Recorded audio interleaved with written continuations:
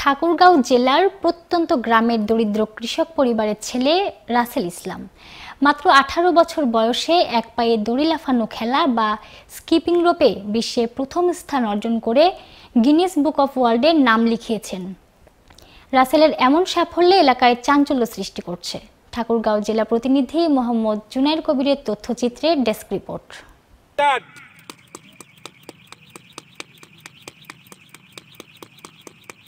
ঠাকুরগাঁও সদর উপজেলার হরিহরপুর সিরাজপাড়া গ্রামের দরিদ্র কৃষক বজরুর রহমানের ছেলে রাসেল ইসলাম।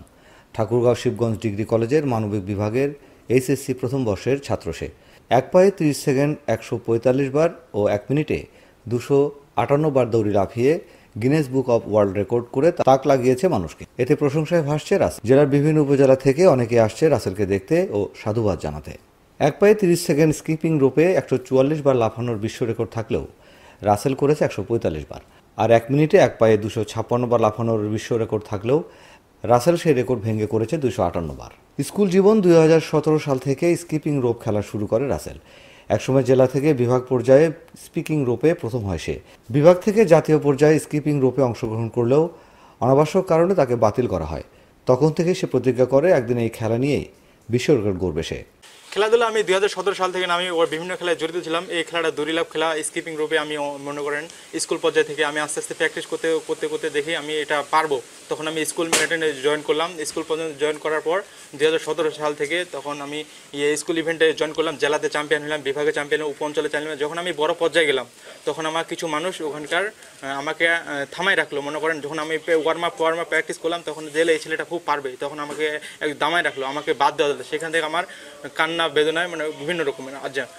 তখন আমি একটা নিজে, তখন আমি শপথ গ্রহণ করলাম। তখন আমি নিজে একটা ইয়া গ্রহণ করলাম যে আমি আমি আর দেশে কোনো রেকর্ড করব না। আমি যা করব এখন গিনেস বুক ওয়ার্ল্ড রেকর্ড বিশ্ব রেকর্ড করব। সেই থেকে বাসার আশেপাশে বিভিন্ন সড়কের ধারে যখন যেখানে সময় পেয়েছে, সেখানে স্কিপিং রোপের চর্চা করেছে সে। অবশেষে নিজেকে এই খেলায় পরিপূর্ণ মনে হলে দুই হাজার উনিশ সালে অনলাইনের মাধ্যমে গিনেস বুক অফ ওয়ার্ল্ড রেকর্ডসে আবেদন করে রাসেল। স্পিকিং রোপে এক পর্যায়ে দুটি বিষয়ে চ্যালেঞ্জ করে সে। একটি তিরিশ সেকেন্ডের, অন্যটি এক মিনিটের ওপর আবেদনের তিন মাস পর গিনেস বুক অব ওয়ার্ল্ড থেকে কিছু গাইডলাইন সহ একটি রিপ্লাই পায় রাসেল সেখানে তারা তাদের নিয়ম মতো কিছু ভিডিও চায় তার কাছে। সে সঙ্গে কীভাবে এগুলো করতে হবে তাও বিস্তারিত দেওয়া হয়। এরপর কিছুদিন আরও মনোযোগ দিয়ে চর্চা করে সেই ভিডিওগুলো তাদের কাছে পাঠিয়ে দেয়। অবশেষে বিশ্ব রেকর্ড ভেঙে একটি নতুন রেকর্ড করে রাসেল প্রচেষ্টার ফলস্বরূপ ডাকযোগের মাধ্যমে গিনেস বুক অব ওয়ার্ল্ডের দুটি সনদপত্র গত বৃহস্পতিবার পায় বলে জানায় রাসেল তার লক্ষ্য এখন সাউথ এশিয়ান গেমসে ও আন্তর্জাতিকভাবে অনুষ্ঠিত বিভিন্ন দেশের সাথে খেলায় অংশগ্রহণ করা। এখন মনে করেন আন্তর্জাতিকভাবে সাউথ এশিয়ান গেম হয়, এই বিভিন্ন খেলা হয়। আমি এখন গিনেস ওয়ার্ল্ড ওয়ার্ল্ড রেকর্ড করি। বিশ্বের মধ্যে এখন আমি এক নম্বর স্থানে আছি, ওই দরিলা খেলাতে এক পাই। এখন আমার একটা, আমার এখন লক্ষ্য যে সামনের যে গেমগুলো, সাউথ এশিয়ান গেম বা এশিয়ান গেম, এই এশিয়ান গেম ওয়ার্ল্ড চ্যাম্পিয়নশিপ এগুলোতে অংশগ্রহণ আর সর্বপ্রথম ধন্যবাদ আমার পরিবারকে, পরিবার আমার সবসময় সাপোর্ট দিছে। এই সাপোর্টের জন্য আমি এতদূর আসা। আর মা বাবাকে পরিবারকে সব সকল সদস্যকে আমি ধন্যবাদ জানাই। কারণ আমার সাপোর্ট না থাকলে আমার এতদূর আসা সম্ভব ছিল না। এ নিয়ে রাসেলের পিতা বজলুর রহমান বলেন একজন গরিব কৃষক হয়েও যথাসাধ্য আমার ছেলেকে সহযোগিতা করেছে। আমার ছেলে আজকে এমন এক পর্যায়ে গেছে তাই আমার খুব ভালো লাগছে। আমার মাজিল ছেলে আসেল আমার এই পর্যায়ে গেছে আমাকে খুব ভালো লাগছে। আমি সহযোগিতাও করছি। আমি এক কৃষক আমরা খুব গরিব লোক আমি সহযোগিতা খুব করছি তারপর এবার এই পর্যায়ে গেছে এই পর্যায়ে মনে করেন আজকে এমন দেখে নে খুব ভালো লাগছে। রাসেলের বড় ভাই আরিফ জানান আমার আমার ছোট ভাই রাসেল এত বড় কিছু অর্জন করবে। আমরা বিশ্বাস করতেই পারিনি যে সে বিশ্ব রেকর্ড করবে।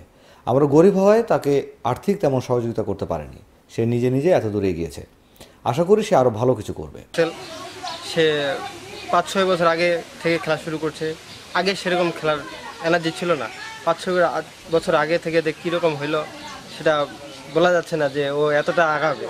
আমরা কোনোদিন ভাবতেও পারিনি যে ও এতটা কিছু করবে। ও যে আজ কালকে দেখছি ওর হাতে সার্টিফিকেট আমরা তাও বিশ্বাস করতে পারিনি যে ও এতটা কিছু করছে।